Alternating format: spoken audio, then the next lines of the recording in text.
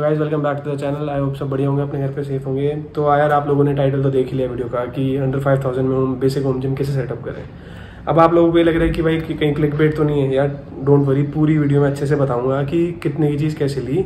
ज़रूरी नहीं यार, आपको वेट लिफ्टिंग करनी हो, बहुत वेट से, एक मॉडरेट वेट से एक अच्छा एक्सरसाइज कर सकते हो यार। ऐसे सिचुएशन में एक्सरसाइज बहुत ज़रूरी है कार्डियोवास्कुलर को अपने इंप्रूव करने के लिए लंग्स को हेल्दी रखने के लिए। तो एक अच्छा जिम सेटअप बनाया। आप आई एम श्योर आप लोगों को अच्छा लगेगा। तो चलो वीडियो को स्टार्ट करते हैं।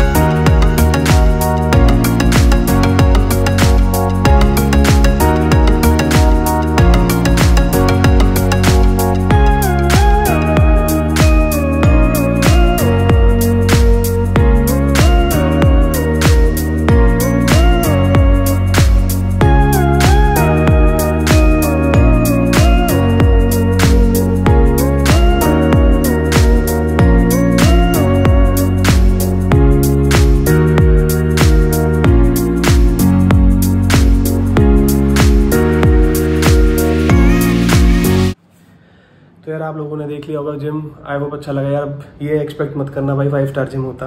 पाँच हज़ार रुपये में यार। पाँच हज़ार रुपये तो नॉर्मल एक अच्छे जिम की फ़ीस होती है महीने की। और पाँच हज़ार रुपये में आपको लाइफ टाइम वैलिडिटी मिल जाएगी ऐसे जिम की। तो यार मैंने ना लिस्ट लिख ली थी। मैं आपको बता देता हूँ कौन कौन सी चीज़ कितनी कैसे की पड़ी। सबसे पहले शुरू कर देते हैं। लोग स्टैंड का सोच रहे होंगे भाई टायर क्या चीज़ है? यार ये अल्टीमेट इंडियन जुगाड़ बोलते हैं इसे।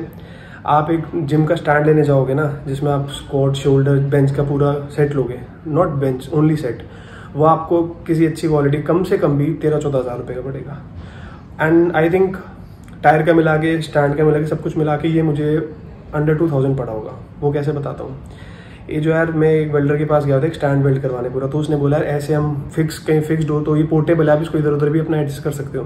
तो उसने बोला कि, सर, आप कहीं से कोई भी, किसी भी पुराने गैराज से, कहीं से भी दो टायर लिया, मुझे वो टायर पाँच सौ रुपये के पड़े यार पेयर तो उसने पूरा अपना वेल्डिंग का कॉस्ट सब कुछ मिला के आई थिंक सिक्सटीन हंड्रेड लिया था मतलब वही बीस दो हज़ार इक्कीस सौ। उसमें मेरा स्टैंड रेडी हो गया था। चलो यार, ये तो हो गया स्टैंड का बजट दे दो हज़ार रुपये आता है, ठीक है? जो बड़ी वाली रोड यार सिक्स फीट की, वो सिक्स हंड्रेड रुपीज़ की मुझे पड़ी थी। और जो ये प्लेट्स है ना ये मैंने थोड़ी पहले ली थी तो तब थर्टी रुपीज़ पर के जी था। आई थिंक अब फिफ्टी हो रखा है। तो थर्टी रुपीज़ के जी तब मिल गया था। तो भाई मेरे हिसाब से एक अच्छे वर्कआउट के लिए एक दस टेन के जी का पेयर एक फाइव के जी का pair and two two point five K के पेयर क्योंकि जो आपके जो छोटी वाले डंबल प्लेट्स हैं, उसमें भी तो आप लगा के करोगे ना। हाँ डंबल प्लेट थी थ्री हंड्रेड रुपीज़ की पेयर और ये बड़ी वाली रॉड थी सिक्स हंड्रेड की। Nine hundred plus twenty one hundred three thousand हो गया आप लोगों का, ठीक है? तो जो जो प्लेट्स हैं अब आप कितना पेयर बताए? टेन का पेयर फाइव का पेयर और दो ढाई के तो आप लोगों का आई थिंक फोर्टी के हो गया। थर्टी के हिसाब से बारह सौ रुपये तो आप लोगों का कितना हो गया? आप लगा लो सर फोर्टी टू हंड्रेड हो गया, ठीक है? जिसमें आपका स्टैंड इंक्लूड हो गया, जिसमें आप स्कोट शोल्डर प्रेस सारी एक्सरसाइज डंबल इंक्लूड हो गए। मोस्टली वेट ट्रेनिंग वाली हो गई, ठीक है? तो अब दूसरी चीज़ पर आते हैं। अब आते हैं पुलअप बार पे। जो पुलअप बार लगा है वो तो यार आपकी बॉडी वेट एक्सरसाइज है ना, उसमें तो डंबल की ज़रूरत नहीं है वेट की। वो मुझे सिक्स हंड्रेड का पड़ा था अमेजोन से आई थिंक अमेजोन या फ्लिपकार्ट से। मैं लिंक डाल दूँगा डिस्क्रिप्शन में, मैंने जिससे मंगवाया था, ठीक है? वो नहीं हुआ तो कोई उससे सिमिलर डाल दूँगा। ठीक है? तो अब आपका कितना हो गया? फोर्टी एट हंड्रेड ऑलमोस्ट आपकी जिम के सारे इक्विपमेंट सारे जो एसेसरीज है इक्विपमेंट थे, सब कवर हो चुके हैं। फोर्टी एट हंड्रेड बजट बना है। तो स्टिल मैं थोड़ी चीज़ और ऐड कर देता हूँ। जैसे मैंने रोलर मंगवाया था, यार वो तो हमारे पेरेंट्स वगैरह बड़े लोग भी कर सकते हैं रोलर ठीक है? वो सिक्स हंड्रेड का पड़ा था। तो अब ये तो लाइक एडिशनल हो गया बट स्टिल आप वही पाँच, साढ़े पाँच हज़ार में बन जाएगा आपका। तो देख लो, अब आपका एक बेसिक जिम इंक्लूडिंग एवरीथिंग अब एक चीज़ रह गई है वो है सिर्फ़ बेंच देखो बेंच का मेरे पास ऑलरेडी जुगाड़ था, मेरे पास पंचिंग बैग रखा हुआ है काफ़ी टाइम से। मैं पंचिंग बैग को ही नीचे बना लेता हूँ। अदरवाइज़ हम ऐसे भी कर सकते हैं। ज़रूरी यार बेंच खरीदनी। गद्दे होते हैं ना, घर में गद्दे तो सबके होंगे। क्वेश्चन टाइप जो गद्दे होते हैं, उसका एक छोटा सा बेस बना लो लाइक ज़मीन से maximum six seven eight inches ऊपर। उसमें भी कर सकते हैं यार, बस ज़मीन पर टच ना हो। देखो यार, मैं आप दोबारा वही चीज़ बोल रहा हूँ। लोग क्रिटिसाइज बहुत करते हैं इस चीज़ को। पाँच हज़ार रुपये का जिम है भाई। कोई पचास हज़ार का या पाँच लाख रुपये का जिम नहीं है, जो हर चीज़, सारी फैसिलिटी होती है। मैंने सिर्फ़ ये वीडियो बनाने का मेरा सिर्फ़ ये मतलब था कि भाई, लोग बहुत अपना मतलब इस चीज़ को कहते हैं ब्रेक डाउन फील कर रहे हैं कि भाई अब जिम नहीं कर पाएँगे, अब जिम नहीं कर पाएँगे। स्पोर्ट्स की शॉप्स वगैरह आई थिंक ऑनलाइन सब डिलीवरी सब कुछ हो रही हैं। तो आप लोग अपना कर सकते हो। अंडर फाइव थाउज़ेंड में भी कुछ नहीं पता यार, कब जिम खुले, कब नहीं खुले।